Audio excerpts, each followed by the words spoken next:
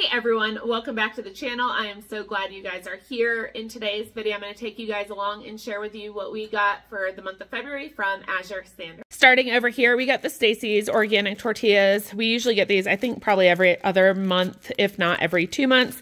But it's nice to have in the freezer ready to go. So I got a three pack of the small ones and then a three pack of the large ones. Over here, we got some zucchini this month. I think I'm going to batch cook some zucchini muffins or make some zucchini chocolate chip bread. And then these, some of these guys need to get used right away. So I'm going to be doing some jalapeno poppers with these. And I'm also going to be canning them. But we got some jalapenos.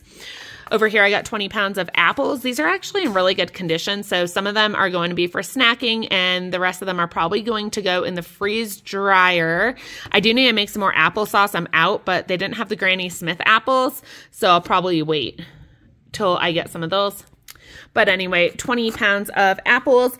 Mike, by the way, also when I went to Massachusetts, took the apples that I got from Azure Standard and he put them in the freeze dryer when I was gone out of town. So it was really nice coming back and seeing those done. We've been freeze drying a ton. Just did a bunch of blueberries and blackberries and strawberries. So absolutely loving it so much better.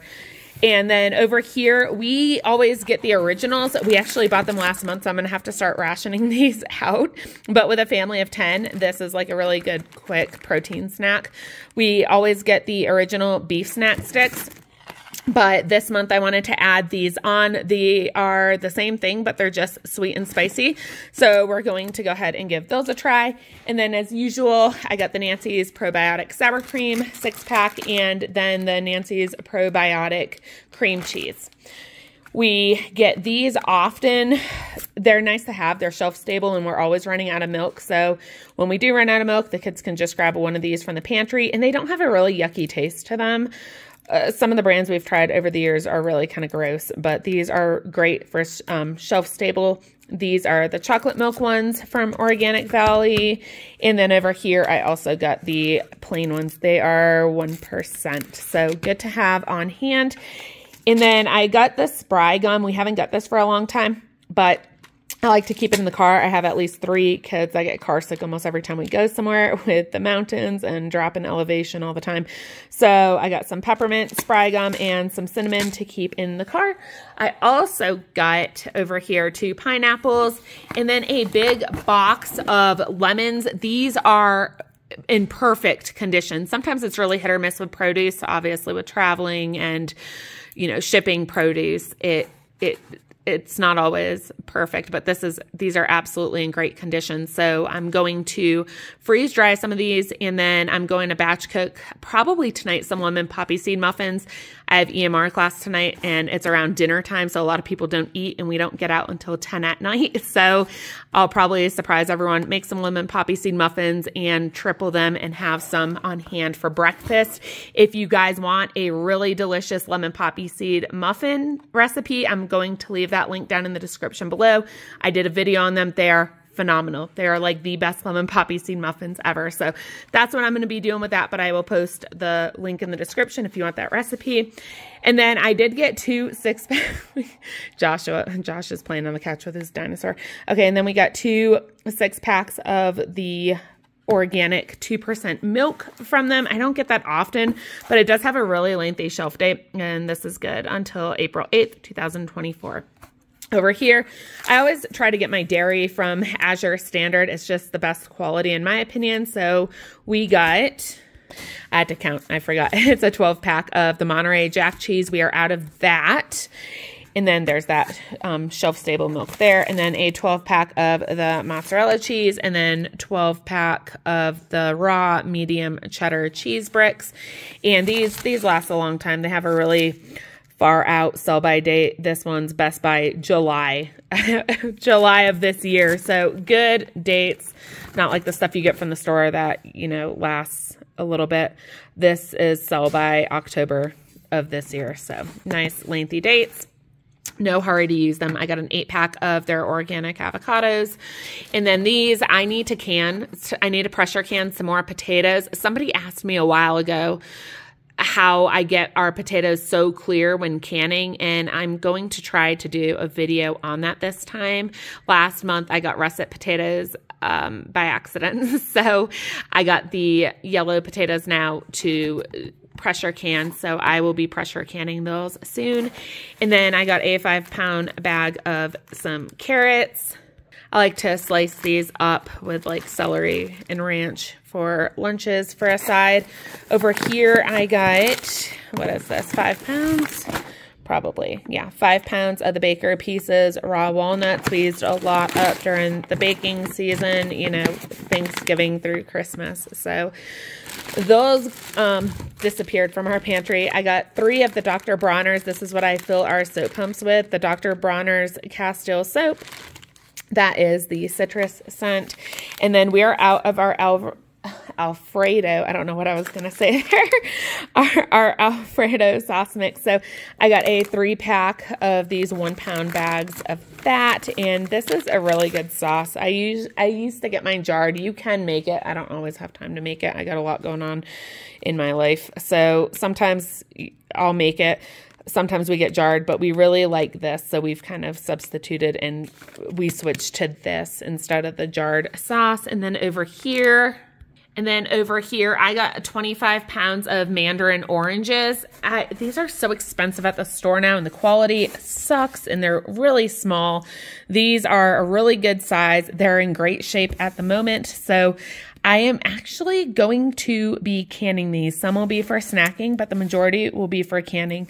So this one's just a little bit soft, but other than that, the quality of these is absolutely perfect. So I am looking forward to getting a lot of these canned up. Okay, we've had a lot of snow, so my garage is kind of gross, obviously.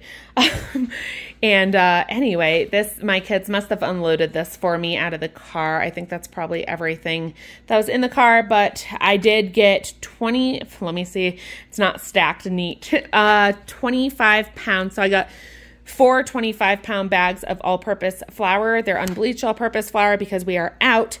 I also got eight bags of poultry pellets from Modesto Milling. I do like that a lot. And then I got two bags. There we go. I got two bags of the chicken wheat animal feed. It's organic. So what I'm going to be doing is just kind of mixing in some of my own feed and we've been doing that, just adding multiple things in. I also forgot to pull these out. Um, we got five pounds of the frozen green peas as well. I'm going to throw those in our freeze dryer.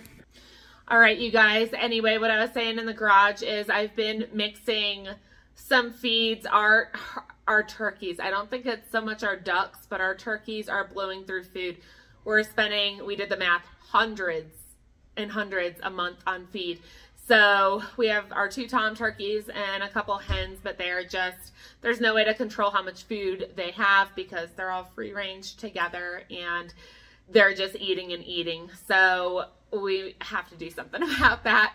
But I did get the eight bags of feed, but we've just been blowing through feed. I got three bags two days ago, gone. And before that, we got six bags, I think, from down the hill, and those were gone quickly. So cutting down on how much poultry we have. It's not the chickens. I think it's just the ducks and the turkeys, especially the turkeys. So anyway, oh, in news, I got glasses finally. So it's been 10 years. That was weird. I'm like trying to readjust my eyes.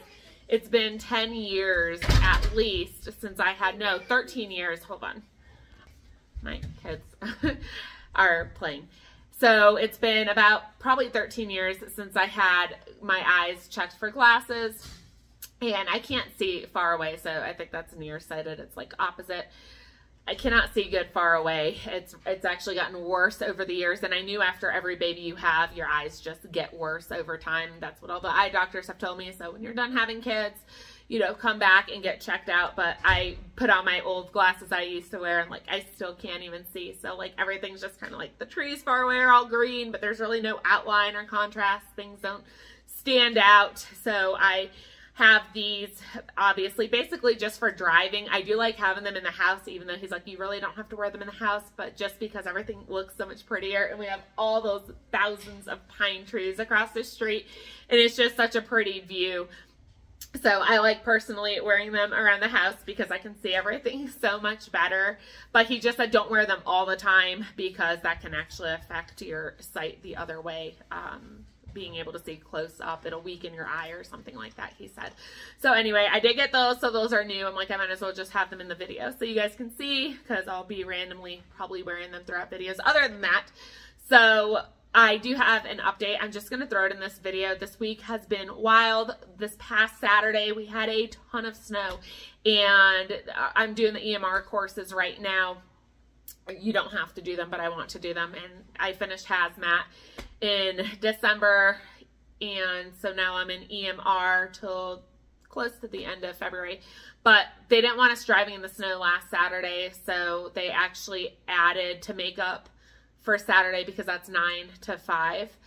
They have two extra weekdays added on. So this week I was really hoping to get a video out and I was going to film it Wednesday and I just was not able to do that because that was our makeup day from missing Saturday because of the cancellation. So I had two extra weekdays added on. So every day this week I've been gone and today is today is Thursday.